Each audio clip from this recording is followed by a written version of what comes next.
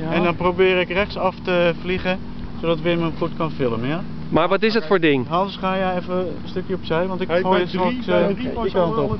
Ja. Ja? En ik wil nog toevoegen, niet te snel even- gooien. Heb je afstand? Goed. Niet te snel. Kijk uit voor je ogen, jongens. Goeie. Wel even afstand nemen, anders kan ik hem niet volgen. Ja. Ja, ze doen Ja, het. Even wachten, ja? Even wachten. Even wachten. Even wachten. Go, go, go, go, go!